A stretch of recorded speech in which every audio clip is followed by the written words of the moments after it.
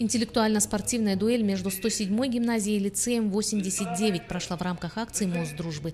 Идея проложить этот мост принадлежит педагогам этих учебных заведений.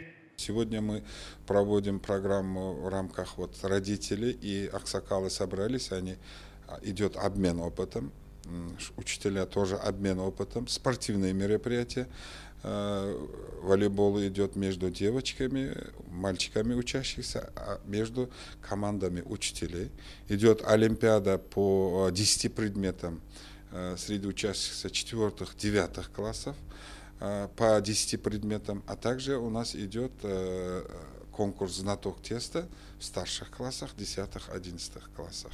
Состязания проходят между школьниками разных возрастных категорий. Свои знания показывают ученики с 1 по 11 классы.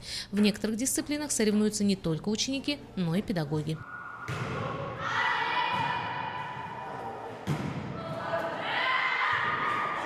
Ну а пока школьники и преподаватели выясняют, в какой школе самые умные спортивные ученики и учителя, родители обмениваются уникальным опытом, как организовать работу родительских университетов. Стоит отметить, что в школе-гимназии номер 107 такой университет действует не первый год, а в конце года лучшие слушатели получат сертификаты.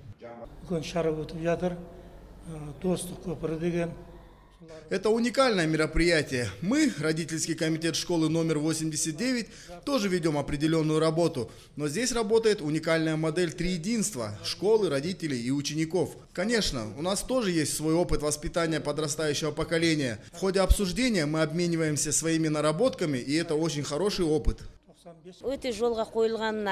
Э, Нам стало интересно, как здесь организована работа коллектива и родителей. В результате между нашими школами был заключен меморандум по обмену опытом. Главная цель – установить дружеские отношения между школами, чтобы наши дети относились друг к другу как родные братья и сестры.